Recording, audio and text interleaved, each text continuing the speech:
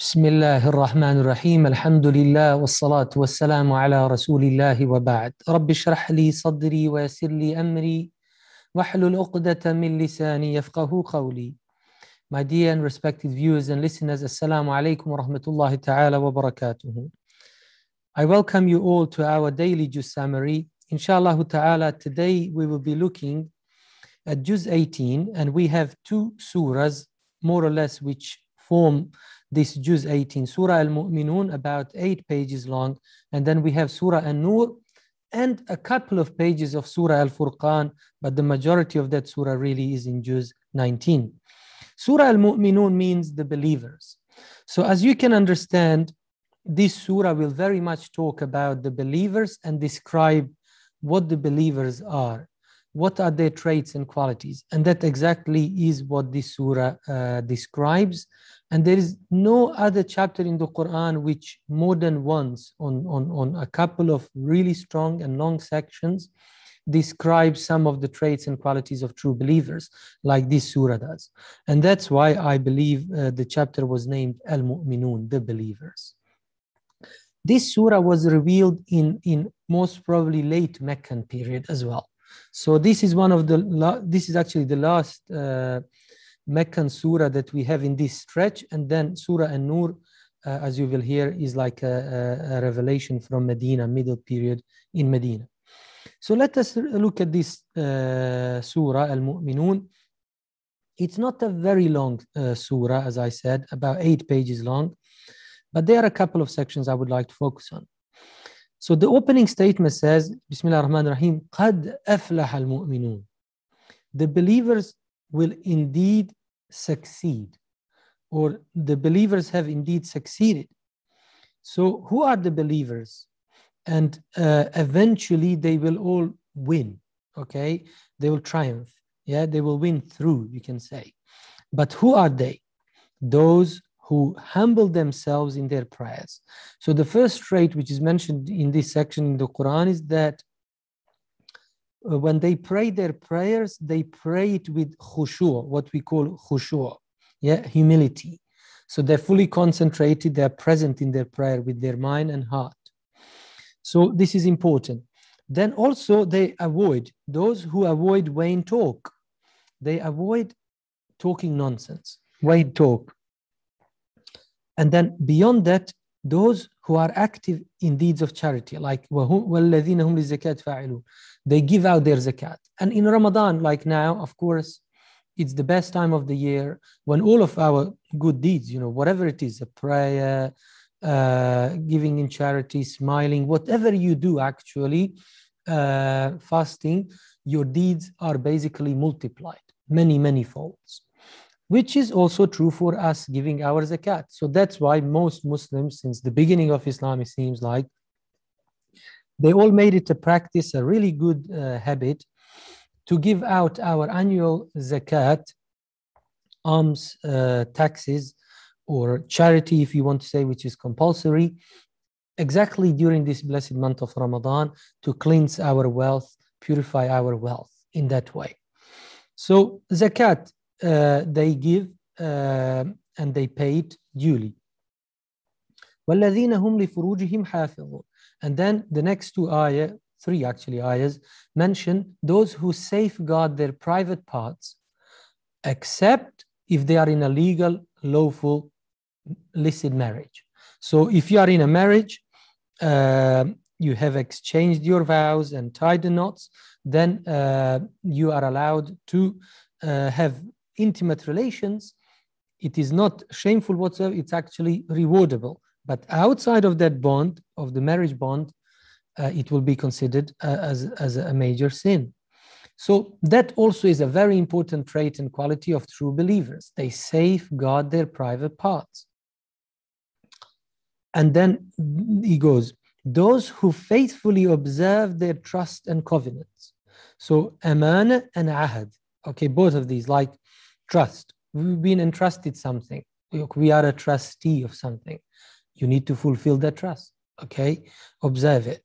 And then if you promised someone something, you made an agreement or a promise, a covenant, then you again fulfill your covenant. Uh, then again, Allah subhanahu wa ta'ala mentions the actual prayer. But here he says, and those who strictly guard their prayers.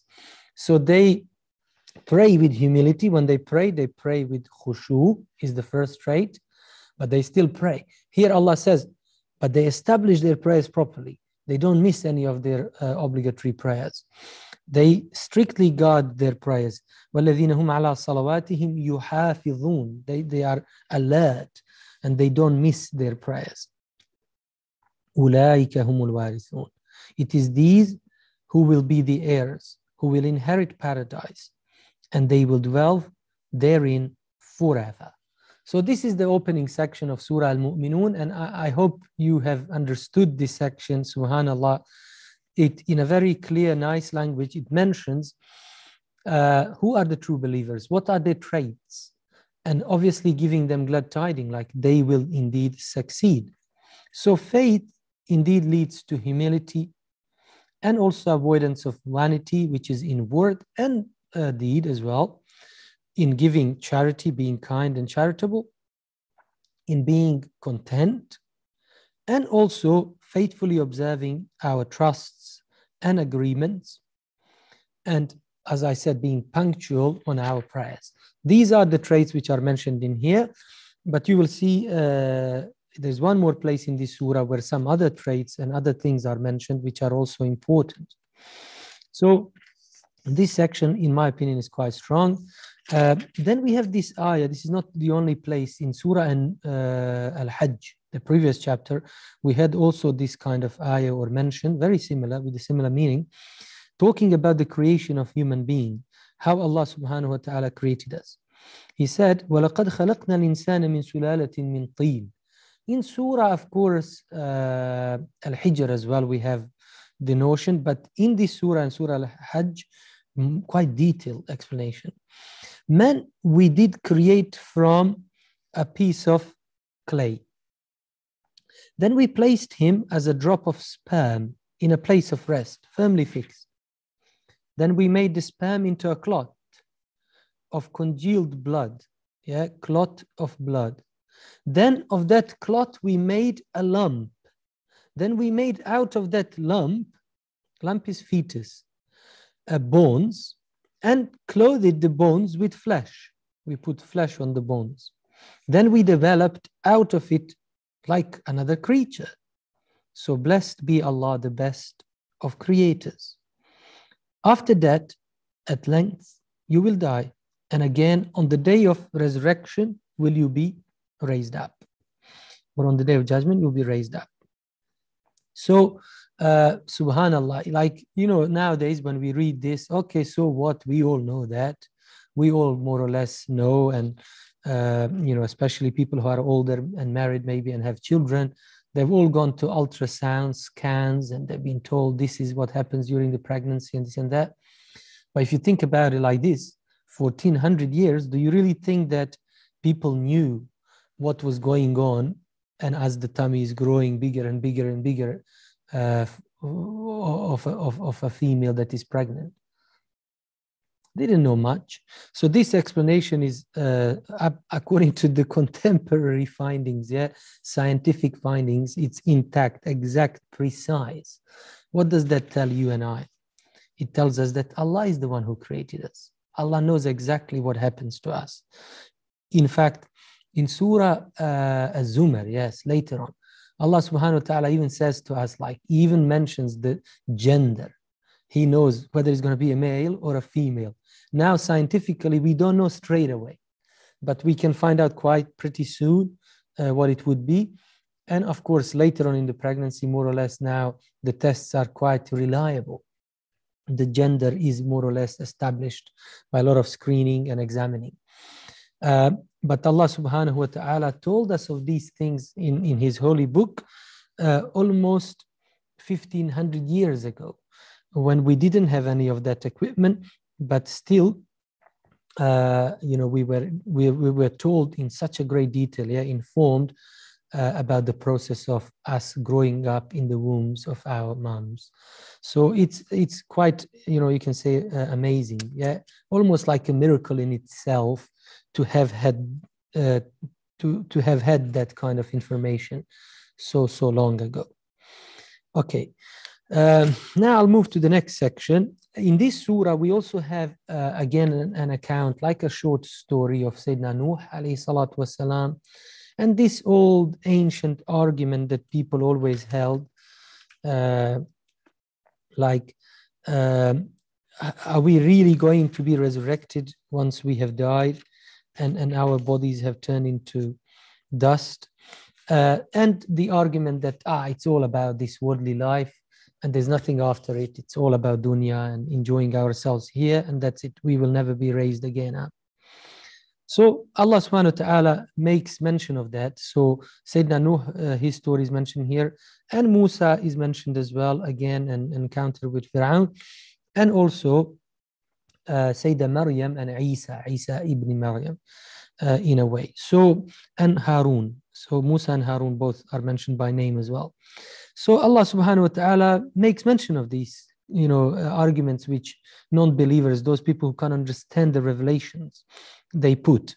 So they said, uh, does he, this Prophet Muhammad, promise that when you die and become dust and bones, you shall be brought forth again, like uh, raised again? Far, very far is, is that which you are promised. Like, uh, that is impossible, can't happen and they say there is nothing but our life in this worldly life in this world we shall die and we live but we shall never be raised up again uh, and they would accuse usually their prophets of this and this and that but allah subhanahu wa ta'ala told us later on when the time of resurrection comes when the actual hour the time comes those non-believers will plead they will call upon allah ask give us another chance send us again back to this earth we're going to worship you only you we won't do anything wrong. And we're going to be good and kind in charity and establish our prayers. But Allah subhanahu wa ta'ala will say that's too late. No one has a second chance in this regard. So, in that se- segment, this surah is quite strong, I have to say. But let me read uh, uh, this other section, which mentions uh, some other, you can say, qualities or traits of true believers, uh, which are also important. So it's in section four. The beginning is actually Ya ayyuhar rusulu, O you messengers, enjoy all things good and pure and do righteousness, for I'm well aware of all that you do. And verily, this brotherhood of yours is a single brotherhood, nation. Yeah, nation is a single nation, is Muslim Islam. And I am your Lord and cherisher, therefore fear me uh, and no other than me. And in Surah Al-Anbiya that we covered yesterday, same ayah more or less, but the ending was, so worship me and no other than me. But people have cut off their affair of unity, like they, they disunited, okay, uh, between them. And they split into sects. And each sect or party rejoices in that which is with itself. So every camp is basically saying they are the best, they've got the truth, and, and, and, and, and speak in that way.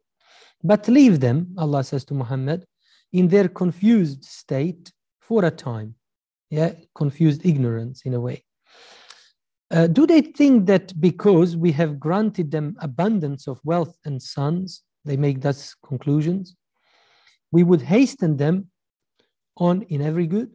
Nay, they clearly don't feel it. They, they don't get it. They don't understand. Okay, they don't understand it.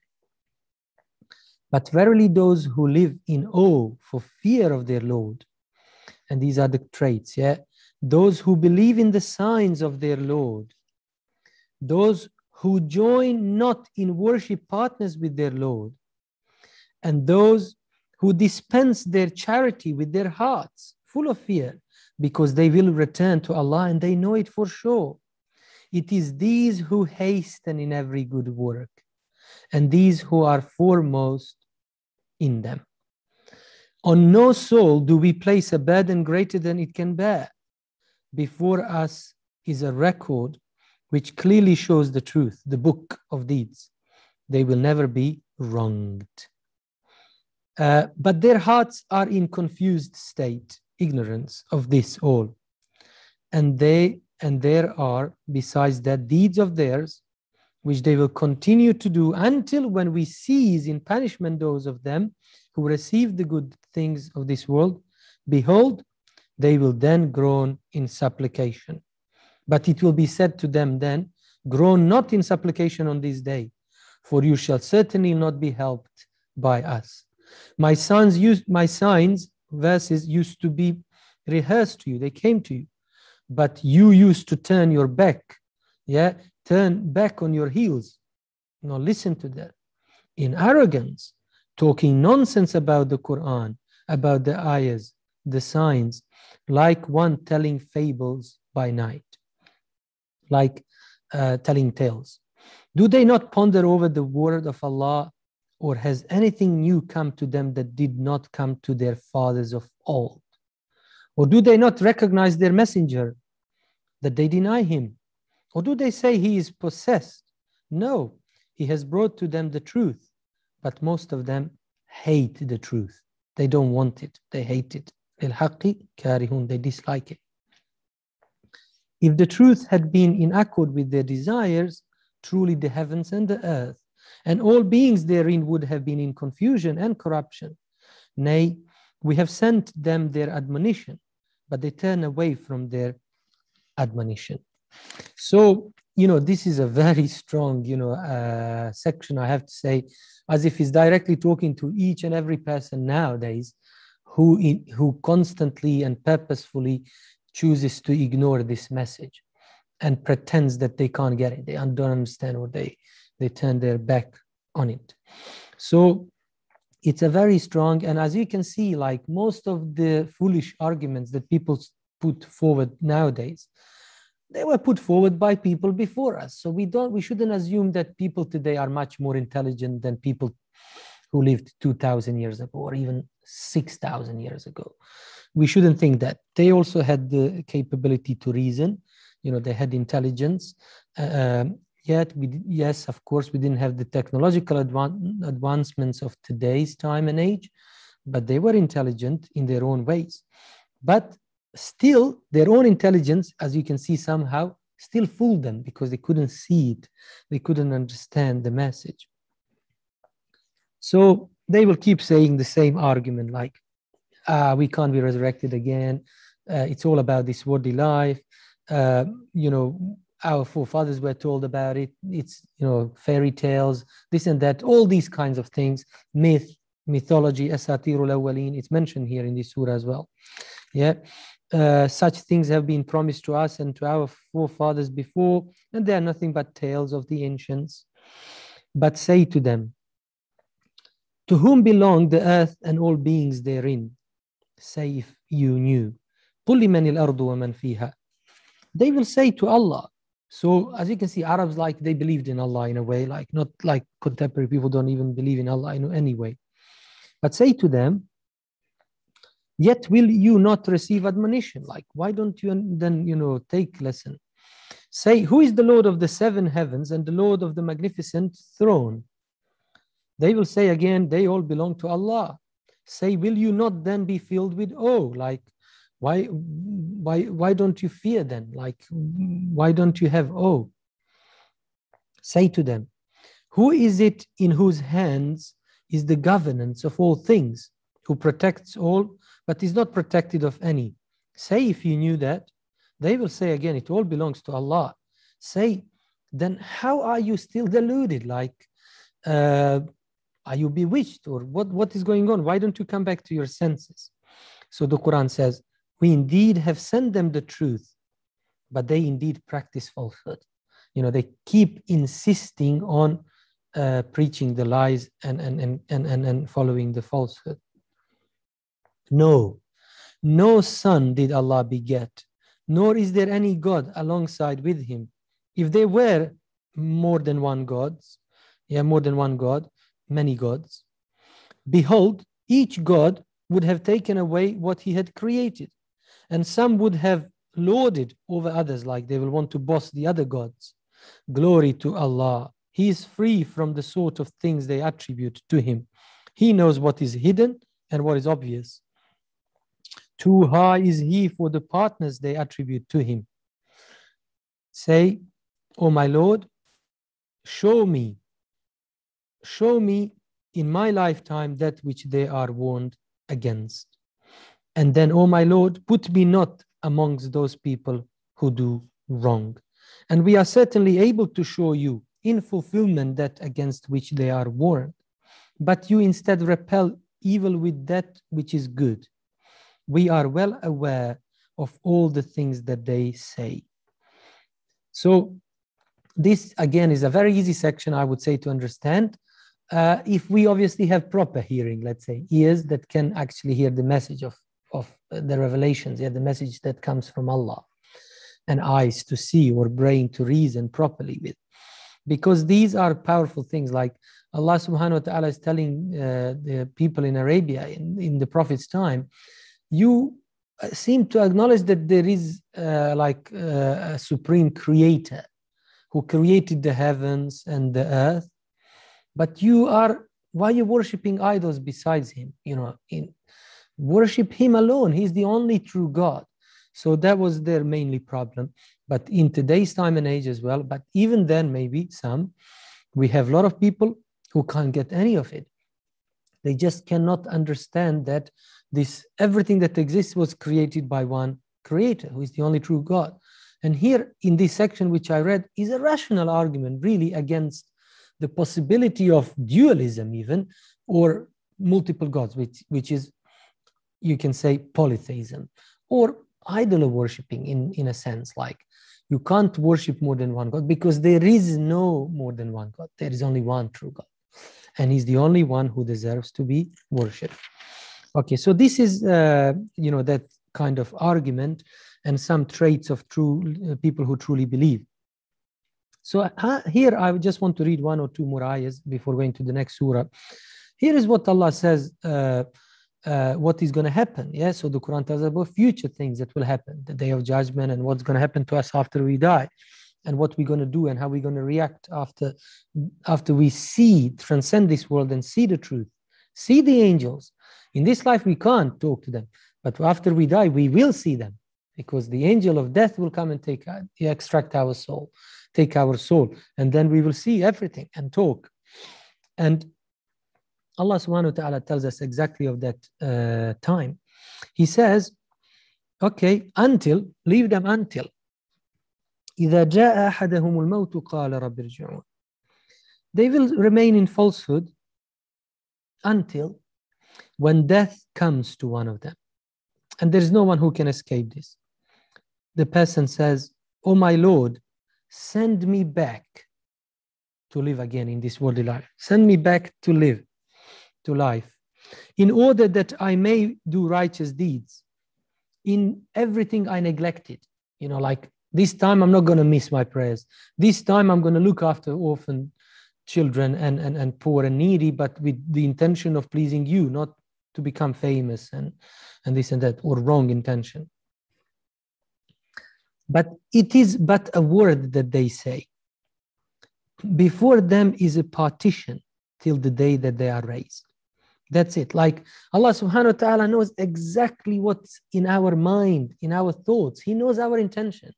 So when they see the truth, and when they see that they have fooled themselves by themselves and done injustice by themselves to themselves, and as a result will be punished and see the reality, the truth, I, am afraid, as the Quran says here, there's no second chance for anyone. It's only one chance. And that's why it's amazing. You know, the faith, Allah is testing us with all of this. You know, the whole life is like a trial. Allah wants to see who is going to believe and who is not. Allah wants to see who is going to go ahead and do good deeds and who will refuse and, and, and, and, and do whatever they feel like doing.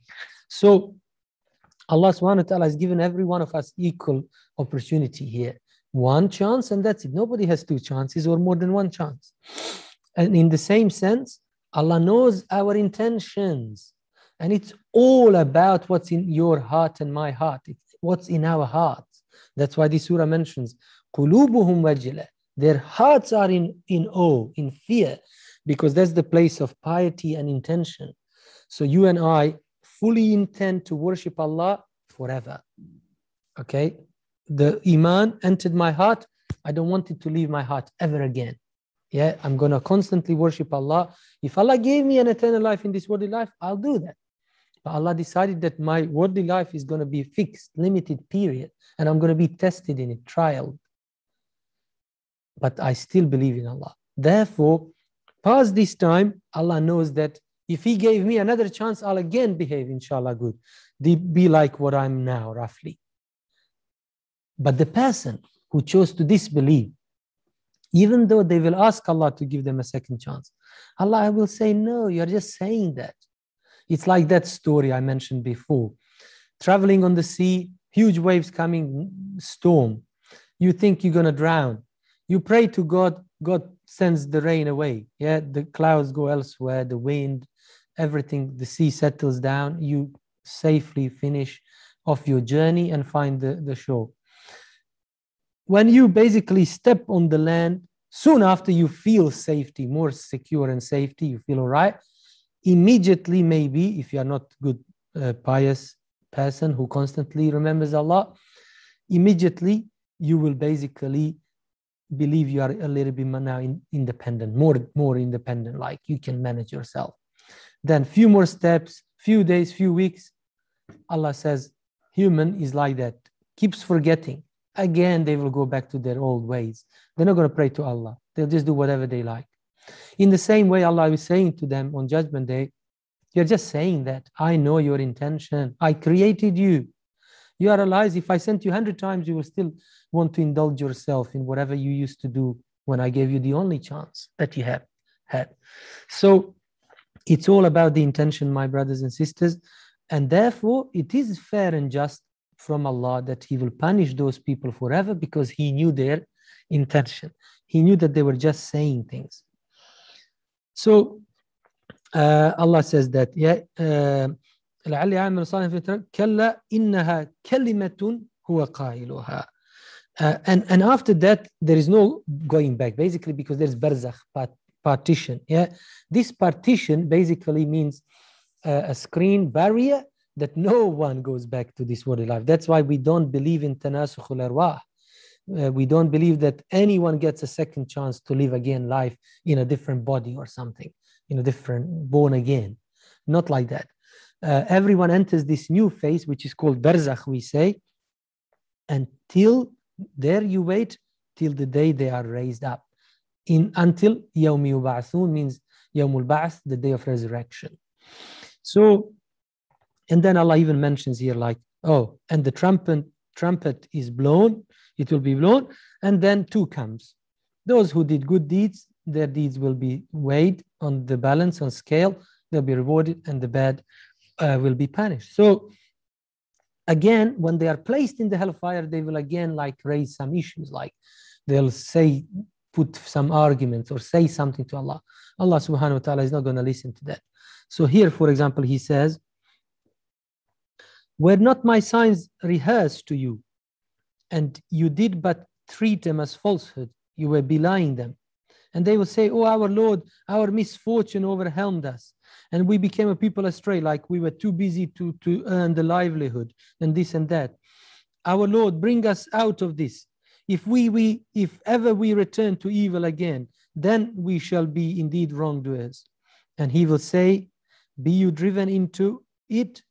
Yeah and speak you not to me so that's it you are in there and you will be in there and stay there some of my servants there was they used to pray our Lord, we believe, then do you forgive us and have mercy on us, like they were doing istighfar and, and rahmah. But for you, you are the best who, for you, you are the best who shows the mercy. But you treated them with ridicule. You're making fun of those people who prayed and cried and, and sought istighfar to me and uh, asked for my mercy. So much so that ridicule of them made you forget my message while you were laughing at them. Now listen, I have now today rewarded them on this day for their patience and their steadfastness, their worship. They are indeed the ones that have achieved the bliss. But for you, is punishment, eternal punishment. So, subhanallah, it's like Allah tells us of what's going to happen on Judgment Day and how, you know, the uh, people who will be judged and who are wrong will put again argument. Allah will say, No, you had your chance, you missed it. Now blame yourself. Don't blame anything else. Don't blame anyone else. And then they will, uh, he will say, like, what number of years did you stay on earth? Uh, like after the resurrection. And they will say, We stayed a day or a part of a day. But ask those who keep account, you stayed for a long time. He will say, You stay not but a little, if you had only knew. And did you th- really then think that we had created you in jest, in vain, like for no reason? And that you would not be brought back to us for account, for reckoning? Therefore, exalted be Allah, the King, the real, the truth, there is no God but He, the Lord of the magnificent throne, the Lord of the honorable throne. Throne. So, subhanallah, it's like uh, this section sometimes really scares me as well. Like, uh, we may think this and that. We, you know, we are not so significant as you can see from this passage. We are just part of Allah's creation, and our stay in this worldly dunya was not so huge and too significant. But did we really think that we were created and we, we live, we exist in vain just to mess about and to gratify our desires? No, not indeed. We were made, Allah created us with a clear purpose to worship Him. And He is the one who is in charge of our lives and He will take us back to Him for final reckoning. So it's it's a very straightforward and strong message really uh, in this surah. So it's just up to you and i to believe it to listen to it and to follow it or not. The next surah is surah an-nur which means the light. Uh, this chapter is not also very very long. Uh, it has uh, 64 ayahs as i understand but uh, some of the verses are quite long you know much longer than uh, those ayahs of surah al-mu'minun this chapter is to a lot of people like one of their favorites, I'm sure, uh, because it talks about chastity, it talks about marriage, uh, it talks about privacy, okay, uh, you know, fulfilling your rights, about uh, visiting each other, uh, seeking permission to enter someone's property, eating together, uh, covering your your your hair for ladies, yeah, covering the hair, lowering our gaze. Some really amazing, amazing norms, or let's say principles, uh, that would basically bring so much peace and joy in our societies. But the breach of those norms and regulations would be scandalous, would be very problematic, and people just need to understand that. So uh, there are not many surahs which begin with this term, Surah Tun anzalnaha. Okay, so Allah says, a surah which we have sent down and which we have ordained. In it, we have sent down clear signs in order that you may receive admonition. So, right at the beginning of this surah, adultery and fornication are mentioned, and the rules, like the, let's say, uh, punishment for those who, who committed them. Or you can even switch it the other way around and say, there is a stern warning against adultery and fornication in this surah. So therefore, it's encouraging you to remain chaste, okay, to safeguard your private parts, like Surah Al-Mu'minun said. And if you uh, if you still think that Islam uh, is preaching celibacy or saying that we don't get married, in order to stay pious. No, that's not what Islam says. Islam actually in this surah says, marry those among you who are single, okay? Encourages marriage, okay? And in that way, there's nothing wrong in you fulfilling your desires in that sense. Uh, but it is uh, the, the sex, the intimate relation, which is out illicit, yeah, outside of the uh, of the marriage bond, which is uh, criticized here and, and a clear uh, fixed punishment mentioned for it. That's why we call that a had, means a fixed punishment. And there are only a few offenses uh, for which in Islamic law we have fixed punishment. One of them really is fornication and adultery or all adultery. The difference between fornication and adultery, if you didn't know, is like for a married person, if they committed uh, illicit uh, intercourse, sexual act, that will be considered adultery. A non-married person, if they again commit uh, an uh, illicit intercourse, again it's it's it's it's it is definitely sinful but it is seen as fornication. Uh, and the punishment is different for a married person to the single person for obvious reason.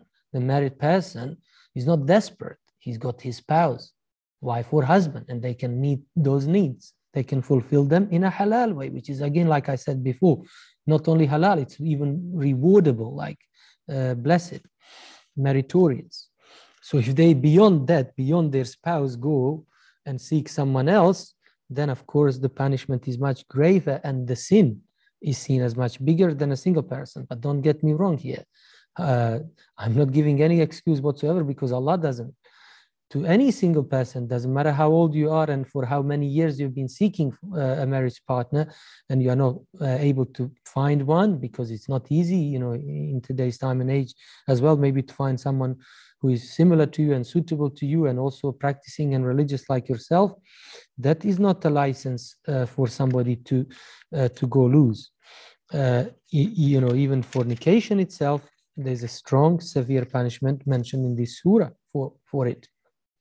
Another issue mentioned right at the beginning is not only that, a charge against chaste woman, okay, or spouse, if if the person who accuses someone that they committed illicit intercourse, okay, sexual activity, but they failed to produce four just witnesses, they also deserve uh, a fixed punishment, had. So there is also a, a had uh, on qadhf, we call it. Yeah. والذين يرمون المحصنات ثم لم يأتوا بالشهداء فَجْلِدُوهُمْ ثَمَانِينَ جَلْدًا So they also uh, get yeah, flogged them with 80 stripes.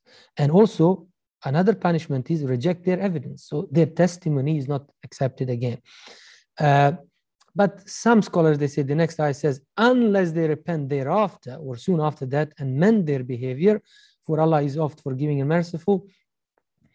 Uh, some scholars say because of this, unless, except, or when, if this happens, uh, they say their testimony can be accepted if they've completely changed their, you know, like uh, uh, conduct. You know, they became pious. Uh, you know, they repented for their sin, and Allahu alam. It seems like you can go either way, but there are some scholars who say, no, ولا تقبل لهم شهادة أبدا. Yeah, Allah said, and reject their evidence ever after, because Allah mentioned abadan, yeah, means never after. If they repent, means Allah will accept uh, their repentance and forgive them the slander, the sin of slander, yeah, of uh, uh, a charge against a chaste person that they made. So Allah will forgive them for that, and they, you know, will have, of course, every chance to go to Jannah. But don't rely on them in terms of testimony, because if they've done it once, what's uh, going to promise you that they might not lie again, yeah, bring a false charge. So that one, uh, and then in this section two of this surah is the incident of uh, al-ifk. Those who brought forward the, uh, the lie are a body among yourself, like a few people from the Sahaba, thinking not to be an evil to you. On the contrary, it is good for you. Okay, so what is this? Is the hadith, uh, the incident of ifk, yeah, uh, slander again, accusation, yeah, accusing uh, Aisha radiallahu ta'ala anha of indecent action, like, and she obviously didn't do anything, but her, uh, let's say, innocence, okay, so bara'a was, you know, her certificate of innocence, I should say, shahadatul uh, bara'a came by Allah subhanahu wa ta'ala because it's a big thing accusing a mother of a believer, one of the Prophet's wives, of indecent act is enormous, huge thing. Buhtanun uh, huge, big, great, you know, big penalty. So Allah subhanahu wa ta'ala came and freed her, yeah, and said that she was innocent, completely innocent, and then set a precedent with this incident, with this story, uh, inshallah, I hope people take admonition from it and they never ever uh, accuse a chaste lady or a man of indecent action if they if they don't have concrete evidence for it. Okay? So allah says here you can read this whole section i don't have much time left but uh, he says like why did not the believers men and women when they heard of the affair put the best construction on it in their own minds and say this charge is an obvious lie ifkun mubin like this is a lie slander why did they not bring four witnesses to prove it? You can't make a claim and then have no evidence for it or witnesses. When they have not brought the witnesses, such men in the sight of Allah stand for themselves as liars. This is what I'm saying. Like you just think in Islam, or I mean, like you just think in upright conduct, let's say, muru'ah. It's okay just to make up any claim. No, you can't make up claims. When you uh, like you know uh, make an accusation of someone like if even in modern society in secular countries yeah and police is around and you make an accusation you accuse someone police is going to say oh that's a mighty charge. You know that's a, that's a serious accusation that you are making against this person. Are you serious? And are you actually aware uh, this can all go against you this is an offense in itself to make such a serious accusation against someone, if you don't prove it, you will be penalized. This is normal. So the Quran says, those are the ones who are seen as liars. ولولا فضل الله عليكم ورحمته well, subhanallah were it not for the grace and mercy of Allah on you in this world and the hereafter indeed a, a painful penalty would have seized you in that you rushed yeah uh, into this affair like you rush talking about it like you just heard this. Oh, can you believe it? Can you hear? Spreading this rumor and, and, and, and, and slander. So, uh, big warning Behold, you received it on your tongues and said out of your mouths things of which you had no knowledge, and you thought it to be a light matter, while it was most serious in the eyes of Allah, in the sight of Allah. And why did you not, when you heard it say, It is not right for us to speak of this. It's not right of us even to listen to this, to hear it. Glory to you, our Lord. This is a most serious slander, slander ever, like a most serious slander. It's a, it's a great slander.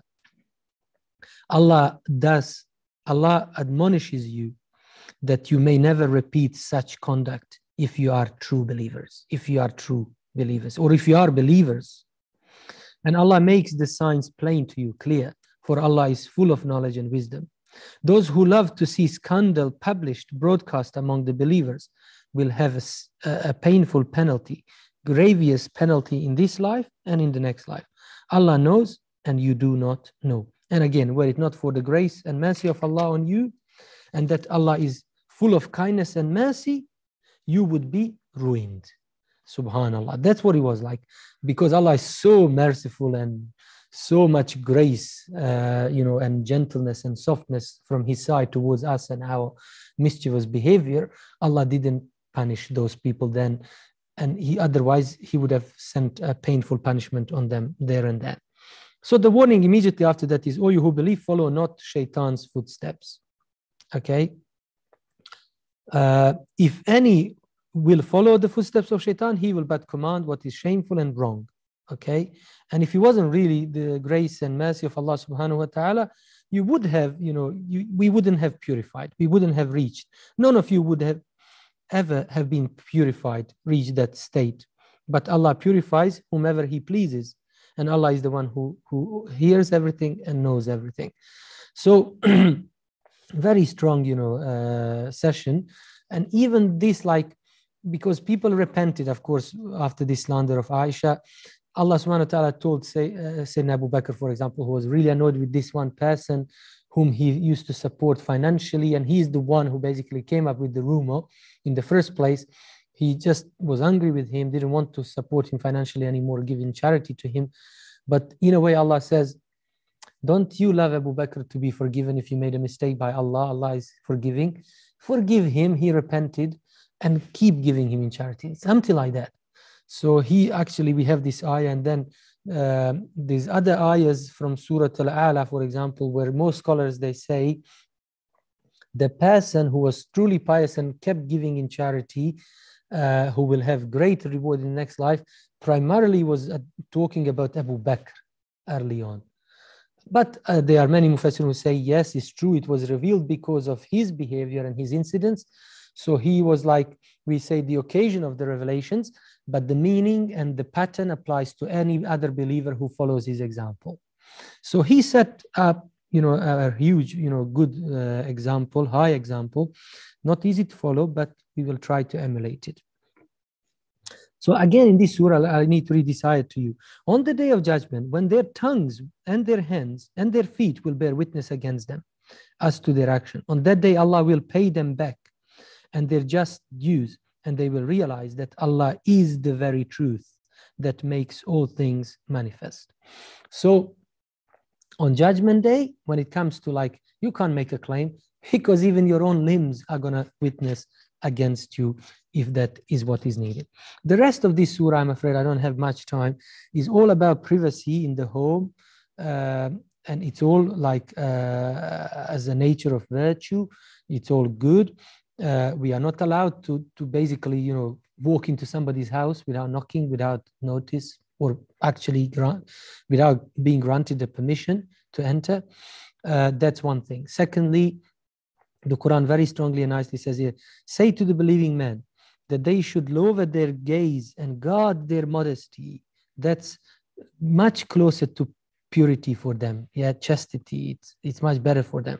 And say to the believing women that they should also lower their gaze and guard their modesty, that they shouldn't display their beauty and ornaments, except what must ordinarily appear thereof, that they should draw their veils over their uh, uh, their chests, yeah, blouses, and not display their beauty except to their husbands, their fathers, their husbands' fathers, their sons, their husbands' sons, their brothers, or their brothers' sons, or their sisters' sons, or their women, or the slaves with whom their right hand possesses, so they can't marry them, or male servants free of physical needs, they, they can't have the desire, or small children who don't have sense of the shame of sex yet.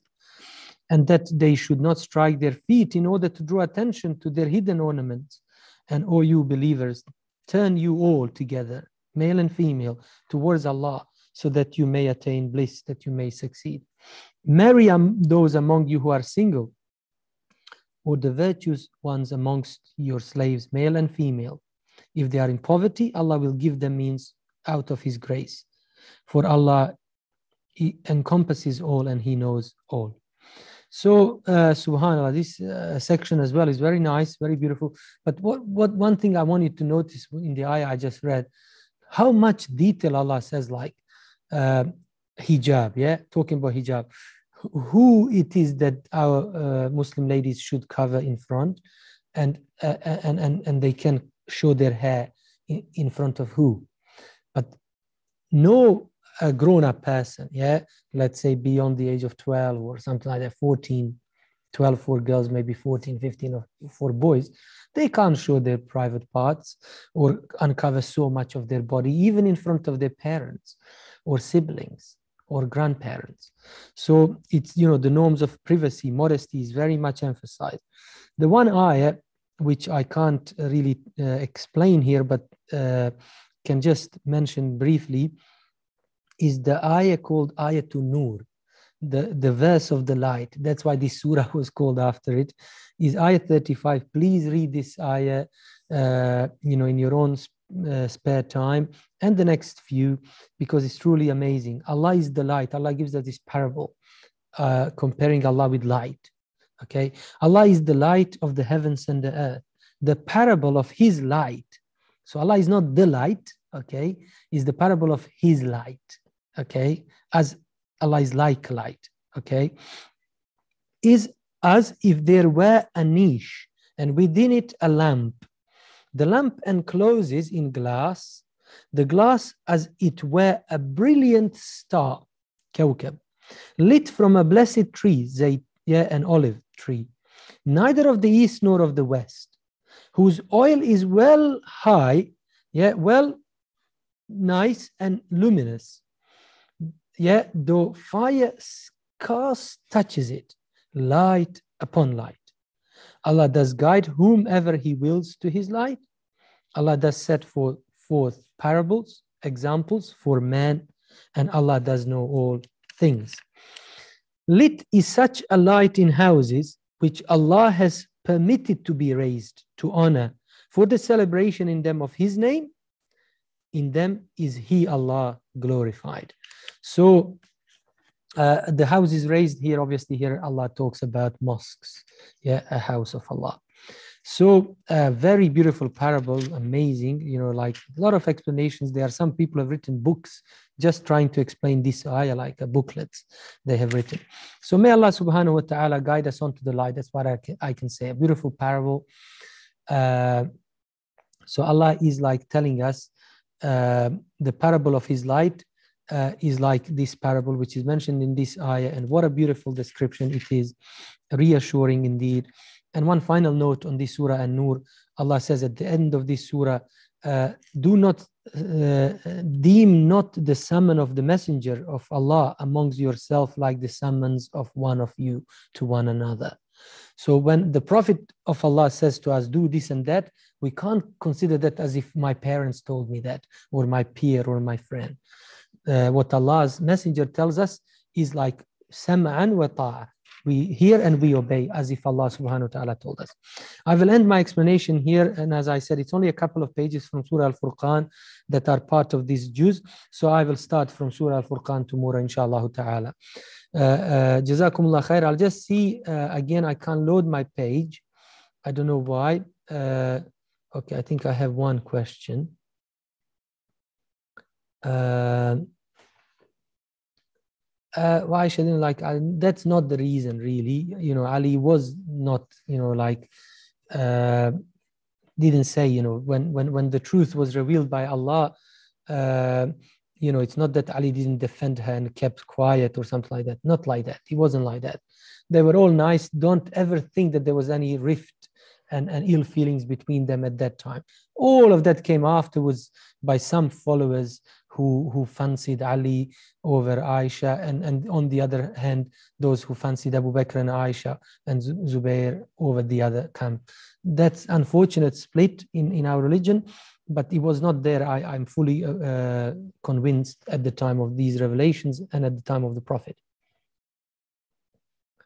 Okay, major sins, I've tried. Okay, so you have to keep trying you know just keep repenting until inshallah one day you understand the severity of your mistake and you don't go back to it. That's the whole point. So never try to give up. Doesn't matter how major your sin is and how many times you have committed it. Keep repenting to allah subhanahu wa ta'ala sincerely and allah one day uh, you will soften your heart give you proper understanding of it. You will do something something will happen in your in your life and you will understand there will be a shield between you and that particular sinful act that is your weakness at the moment. So pray to Allah especially for that. Uh, competing good actions. Uh, at this, okay, I can understand it. Okay, I didn't bring my head. That's personal uh, because I have many duties after this, and my head is very heavy to wear. If a, a Muslim accuse a non-Muslim woman uh, that's a good question. Uh, yeah, the ruling is different uh, because uh, the rules of fornication and adultery and also of slander applies to Muslims only, you know, the, the strict punishment. So no uh, fixed punishment in Islam or non-fixed punishment, which can be prescribed by uh, judges, a panel of judges or a ruler, applies to any non-Muslim. So non-Muslim can never be really punished according to Islamic laws because the Islamic laws, rules, and regulations don't apply to them. But if a Muslim uh, accused uh, another Muslim, then we follow strictly the letter of law here. If a Muslim accused another person and that person was a non-Muslim but in a marriage with a Muslim, then he could probably be punished more or less equally of this punishment because the punishment of slander applies to the Muslim, and he's a Muslim who accused, he or she could be a female as well. But as I said, the non-Muslim, if he was a non-Muslim accusing, or uh, the non-Muslim uh, was the person who was involved in fornication, then uh, the rule of uh, fornication can't apply to them. But if one of the party was a Muslim, that party will be punished according to this rule. Like that, something like that. So uh, it's not necessary that both parties involved are Muslim in adultery and fornication, and that both parties are in accusation and slander uh, recipient or the accuser as well but the rules of Islam apply only to Muslims. That's the normal, you know, maxim, general, general maxim. Okay, I think I answered all of your questions. Can't this one question I can't read it fully. Um, create a structure, private houses.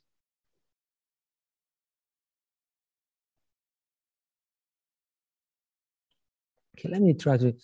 Jamaats compete in good deeds. Some of them meet in mosques, other attached.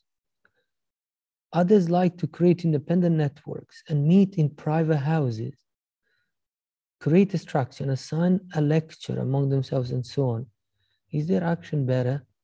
Okay, okay, okay. I can't really fully understand your question. Um,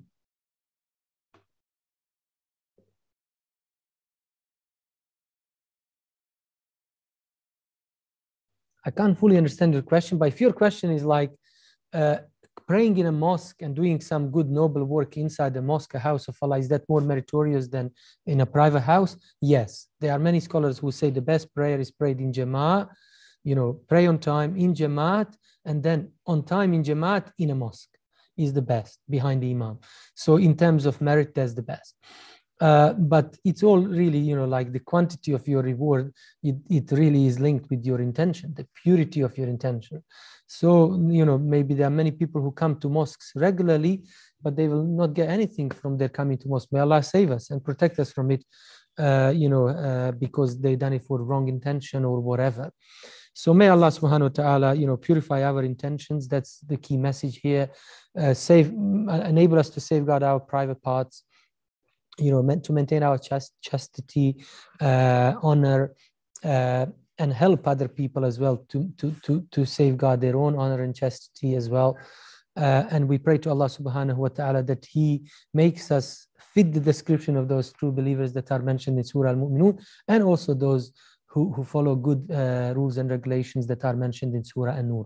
أقول قولي هذا واستغفر الله العظيم لي ولكم فاستغفروه إنه هو الغفور الرحيم سبحانك اللهم نستغفرك ونتوب إليك ونصلي ونسلم على سيدنا محمد وعلى آله وصحبه وسلم تسليما كثيرا بارك الله فيكم والعفو منكم والسلام عليكم ورحمة الله